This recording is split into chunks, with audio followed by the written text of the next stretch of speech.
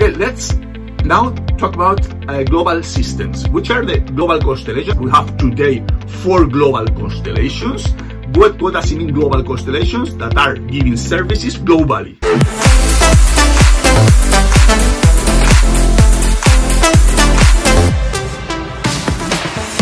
We have today four global constellations. What, what does it mean global constellations? That are giving services globally. I mean, even though you are in China, in the United States, in Africa, in Europe, or whatever, the, you have the global services with the same level of performances everywhere, right?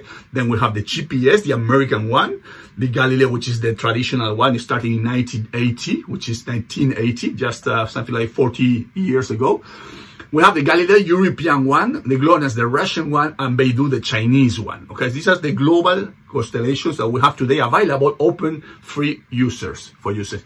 The difference uh, mainly is the, let's say, the origin. Okay, the first three uh, constellations, China, Russia, and United States, were built, let's say, were mint as a uh, military purposes. Even they have some civilian uh, usages as well, but in the beginning was funded by the military uh, uh, funds. Okay, in the European Union, we did it as a civil, as a civilian usage, the Galileo. Even though we have some services, and you may know the PRS service, which is more for military or governmental uh, purposes. More or less, all these constellations are built about 30 satellites, more or less. 24, 26, 27, 30, depending on the deployment phase they have. But there are around 30, 30 satellites. Why? We need at least 30, 27 satellites. We need to ensure at least to have four satellites in view everywhere, every time. Because this is, we will see later on that we'll need at least four satellites to estimate a position and a time. Then, the, the, the, when we are designing the constellation, one of the key points that we have to take care and put attention is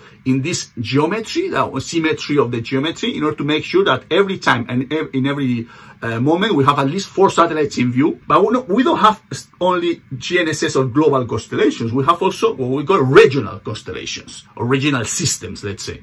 These regional systems today, the most famous in the market today are the Indian one, the uh, the uh, IRNSS, Indian one, the QZSS, the Japanese, and also the South Korean one, the KPS.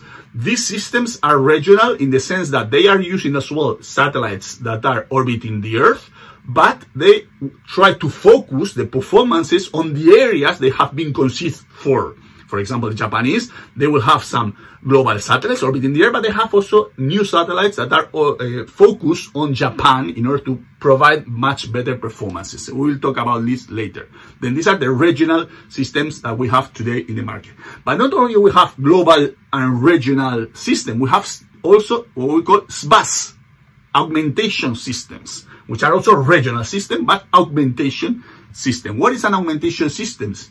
This is SBAS, which stands for Satellite-Based Augmentation System. Today we have different SBAS systems that are already deployed operational in the world. In particular, we have the American WAAS, the EGNOS European, SDCM, the Russian one, the Korean one, which is very recently, the Japanese one, the MSAS, and the Gagan.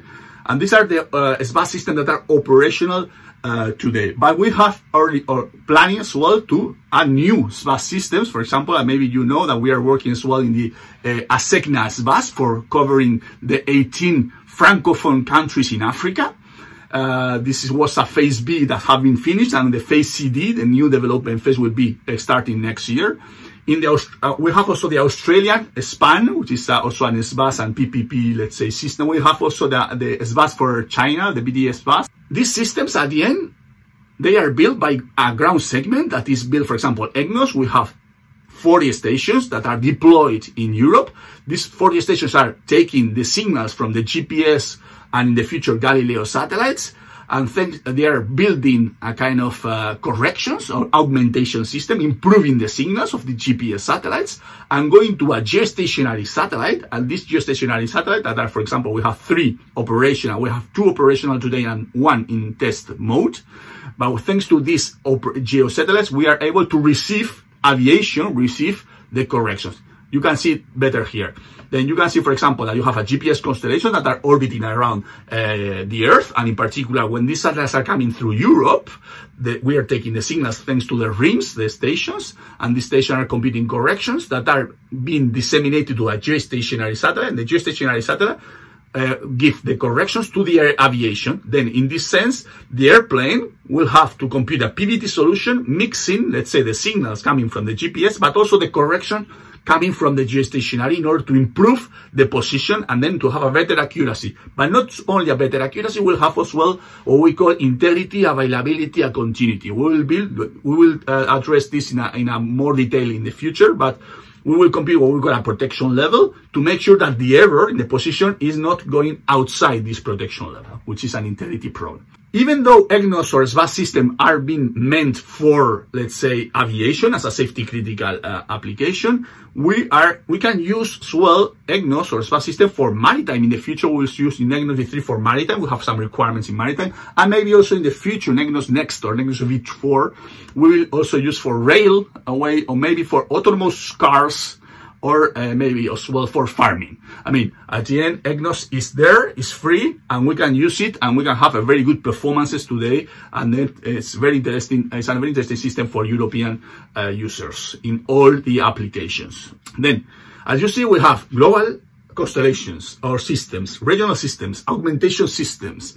Then uh, with this panorama, let's say, we have something like more than 140 GNSS satellites orbiting the Earth today, uh, accounting for all this global or uh, regional constellation SBAS constellation and it is growing and growing and growing. Then today we can have, for example, uh, two particular cases in the Munich, for example, in third, we can have, uh, this was I think in 2020, two years, uh, one last, last year, we, we can have a receiver receiving 35 satellites to compute a position.